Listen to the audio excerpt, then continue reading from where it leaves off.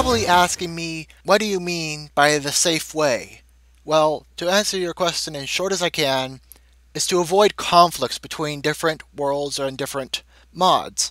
So, as you can see right here, I have Vanilla Minecraft folder, a Feed the Beast Star Wolf 20 folder, and a CraftBukkit folder.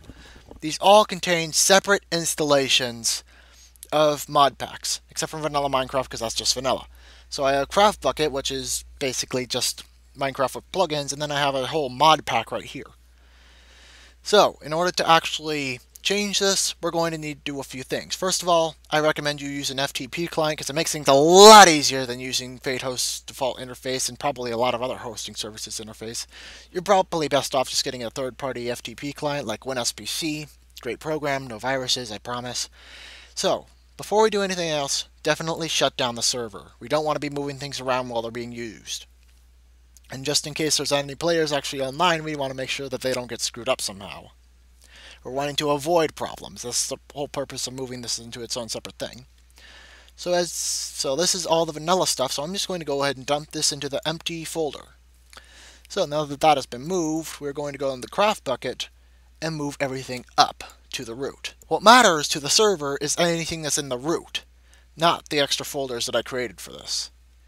So as you can see, all of them are prefixed with bundle, so the server won't pick up anything that's in these folders because it's not part of the actual thing. So before we start the server back up again, we got to change a couple of things, otherwise it's going to try to load that as a vanilla world, and it's not. So let's just go ahead and scroll down into the vanilla, uh, no, CraftBukkit, craft bucket 1.8, and change the world name to switcheroo.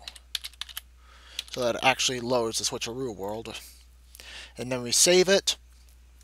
Then we can start the server back up.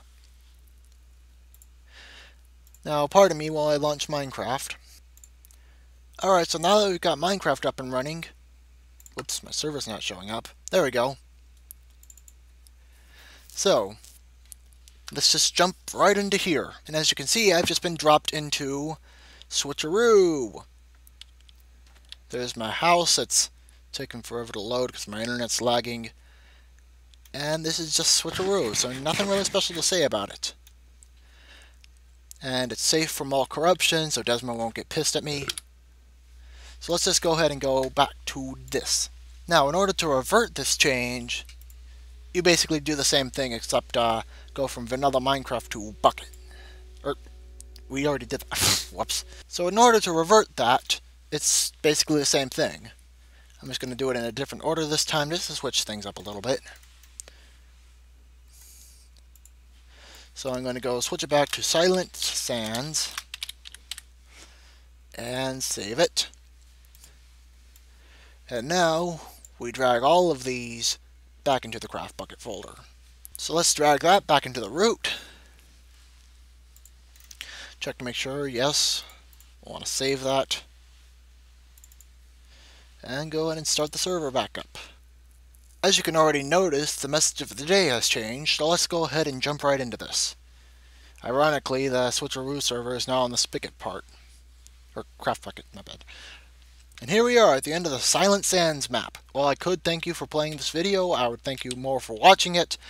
I would really appreciate a like and definitely feedback. I know I suck at this. I'm just doing it for the first time and I'm doing it kind of blindly because I don't know how to do these kinds of things. But I hope you enjoyed the video, found it useful, etc., etc.